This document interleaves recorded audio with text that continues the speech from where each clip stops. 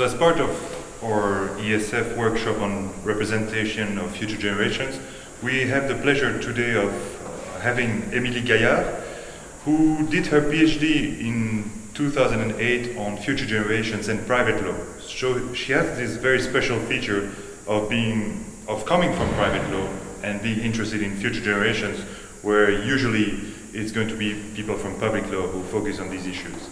She won a prize from the Academy of Moral and Political Sciences for this uh, work, and she's now a lecturer at the University of Caen. So we, we decided to, to ask her a few questions about her work. One, one question um, has to do with the connection between the three generations of human rights and the idea of rights of future generations. So, Émilie, could you tell us a little bit more about this, about this idea of a fourth generation of human rights, and about the connection between generations of rights and rights of generations? Sure. First of all, I shall begin to expose briefly the, the various generations of human rights. To make it short, the first generations of human rights uh, was in the 18th century. This is individual human rights freedom of speech. Um, and the second generation of human rights rose at uh, the very end of the Second World War, and there are more social and economical rights. Uh, the two first generation of human rights rose from um, the nation state level. And the very difference is there has been a jump, an intellectual jump, when the concept of human rights has been transposed at the universal level. And that occurred in the 70s uh, when we imagine a right to um, the environment, a right to uh, enjoy of human, human patrimony, and um, the fourth generation of human rights uh, would be, to Professor Marcus Emmons' point of view, uh, the right to have a human condition, that is to say, the right to be real humans and not to be ha have been transformed. Um, how can we put these fourth uh, levels of generations of human rights with the concept of future generations? The latest uh, two, uh, third and fourth generations of human rights have been um, has have emerged at the international level, and they have a, a very wide uh, scope in the temporal. Um, it is also transnational and transtemporal human rights. And this brings a very, um, a kind of uh, a new paradigm for human rights. Once you have made the intellectual jump uh, to, in order to think about future generations, then you can transgenerationalize the first generation of human rights and the second ones. This can be very po becomes possible. So one of your other ideas is uh, a focus on temporal non-discrimination. So some people claim, and uh, I am I'm part of these people, that it, it is philosophically difficult to defend the idea of present rights of future people, but it doesn't matter too much because we can defend the idea of current rights of future people. You argue that actually we should defend the idea of current rights of future people. Can you expand a little bit on this? Well, it's a, little bit more complex. Uh, with the principle of temporal non-discrimination, I would like to emphasize on the fact that when our current actions is really uh, putting future generations into danger, we should think uh, about them.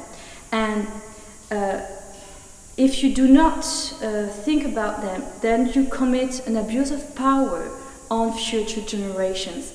And the principle of temporal non-discrimination doesn't have a general vocation, doesn't, doesn't mean that we should, for every action, to put the future generations' interest into the scene. But when you, uh, you, you make an action very, very dangerous for future generations, then future generations enter in the scope of democracy, of law, and uh, it, it is legitimate to think about them.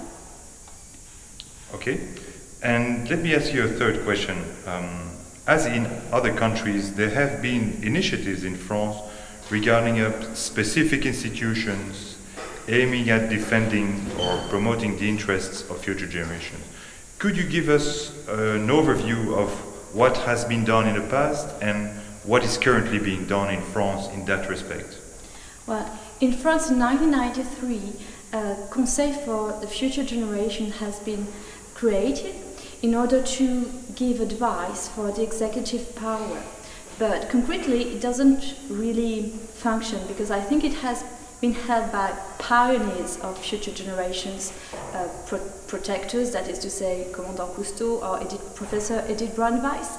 But still, this experience um, gives uh, the path and opens various paths uh, which is uh, actually uh, being experimented.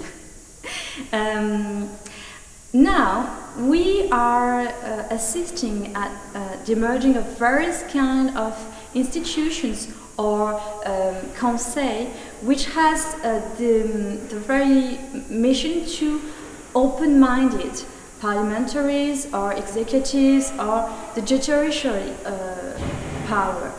Uh, in France, we had uh, Conseil national, euh, Comité consultatif national d'éthique, who has, uh, who, who, je me rappelle pas, je suis désolée. Tu veux qu'on recommence? Ouais, là celle-là, Ok. ouais. On peut couper Bah non, non, je peux No, pas no. reprendre. So we'll cut the last bit. We, we start again. Okay? Take a pen. tu dis. Ouais. Déjà la question Donc la question c'était sur euh, les institutions. Donc tu parles de, de cette institution dans les années 70, c'est ça? Ah oui, d'accord. Et puis euh, tu nous donnes peut-être deux exemples de ce qui se fait aujourd'hui? D'accord. Ok, so we start again.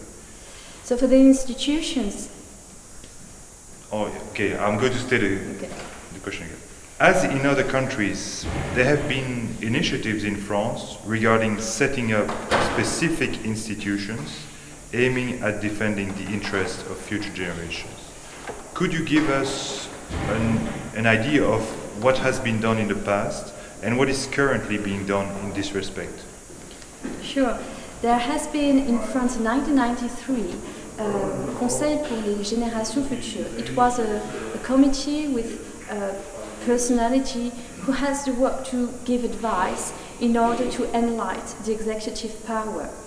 Now we have a kind of other institution which has um, the for mission to enlighten parliamentaries and uh, for on bioethics topics, for example, or in new technological problems.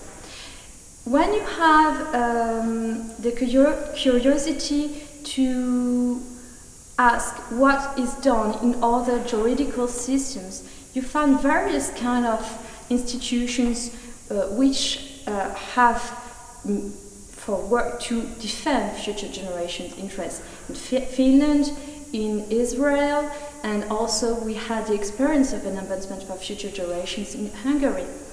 Even though the latest, the latest for experience is no more uh, actual, I think there is a process, and we are uh, we are seeing a kind of emerging transgenerational democracy. That is to say that there is a renewed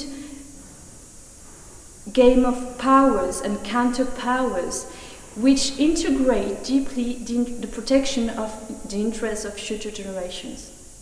Thank you very much, Emily.